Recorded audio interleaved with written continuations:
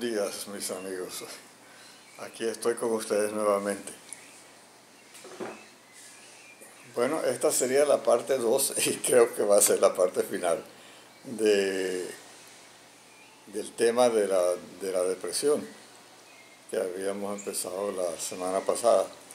Hubo algo bien interesante en, este caso. A mí me llamó la atención que eh, hubiera empezado a sentir tan mal sin ninguna razón especial. Eh, generalmente uno piensa que algunos eventos que pueden ser tristes disparan la depresión, pero en este caso no sentí nada especial que hubiera ocurrido. El hecho de que en unas semanas cumpla 80 años, eso no, no me dice mayor cosa, eh, porque hasta eso me preguntó mi hijo. Pero sí observé algo interesante, y fue que eh, por una dermatitis que a veces me sale en el, cuero cabelludo, eh, realmente es el, cuero cabelludo, porque ya no hay mucho cabello. empecé a,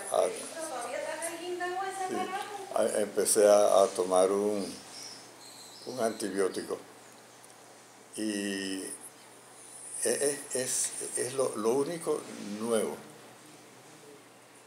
Y yo se lo comenté a, a, Vadim y me dice, ¿cuánto tiempo lo llevas tomando? Y yo digo, bueno, hoy ya, ya, terminé el tratamiento de cinco días y,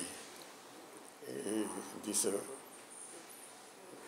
bueno, es probable que el antibiótico haya causado ese desbalance químico cerebral. Cosa que me llamó la atención porque generalmente eh, no es eso lo que se reporta.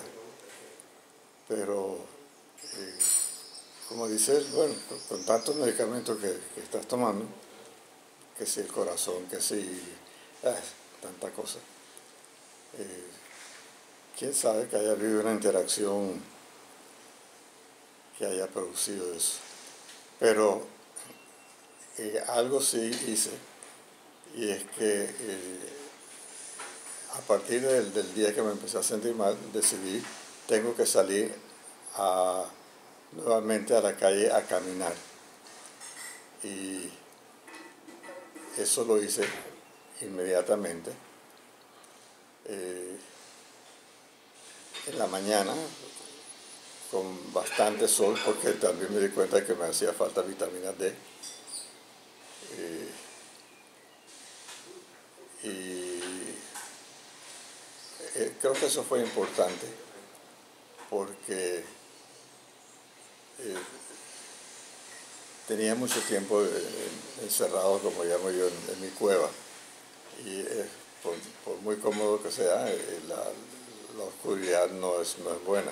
Es más, me comentaba mi hijo más pequeño, Pipo, que ¿no será eso uno de los motivos por los que en lugares como Alaska, Finlandia, eh, hay eh, tanta, tanta depresión y tanto alcoholismo? Y, bueno, pudiera ser, porque pasa mucho tiempo en, oscuridad.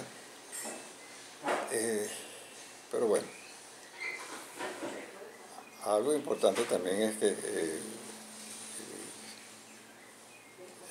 aunque no lo hago ya con facilidad porque la vista no me lo permite, pero, eh, decidí continuar con mis prácticas de, piano eh, a diario. estoy haciendo como una hora eh, diariamente. Y, bueno, la, verdad es que curiosamente cuando dejé de tomar los, los antibióticos estos, eh, la, depresión se fue. Eh, pero sí, sí recomiendo, eh, mantener la, la, regular, la regularidad del sueño, eh, el despertar a la, a la, misma hora, no quedarse en la cama, buscar una actividad que permita que, el ánimo se mantenga bien. Y, bueno, de manera pues que hasta, hasta aquí llegamos con, con este tema.